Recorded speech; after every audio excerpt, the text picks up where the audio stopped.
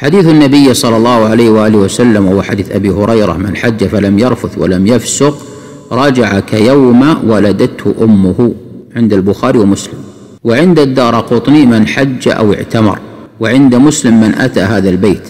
قال ابن حجر في الفتح فرواية مسلم تشمل الحج والعمرة فمن أتى البيت الحرام لأداء العمرة دخل في هذا الفضل والأجر. أما عند الدار قطني من حج أو اعتمر إسنادها ضعيف.